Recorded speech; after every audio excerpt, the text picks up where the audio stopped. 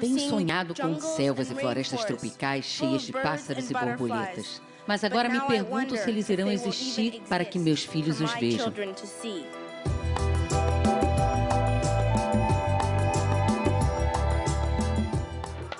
Vivo da lavoura.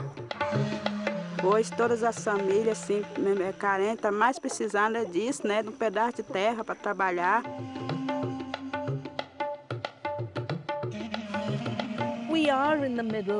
Estamos no meio de uma grande competição onde a vida como um todo e o futuro da vida e o futuro da liberdade estão ameaçados.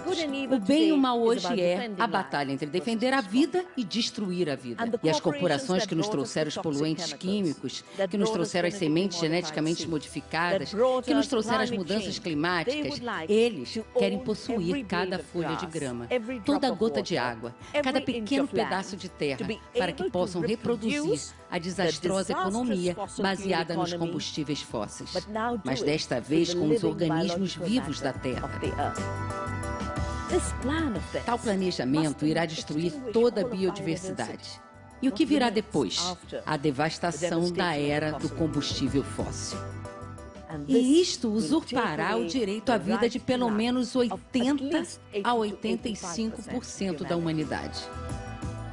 Todos nós precisamos ter acesso aos bens da biodiversidade da água, da terra, para que possamos viver. Se a vida se tornar uma mercadoria, se valorizada apenas em relação ao mercado, será o fim da vida. União por um futuro economicamente viável, socialmente justo e ambientalmente correto. Por um desenvolvimento sustentável. Acesse nosso site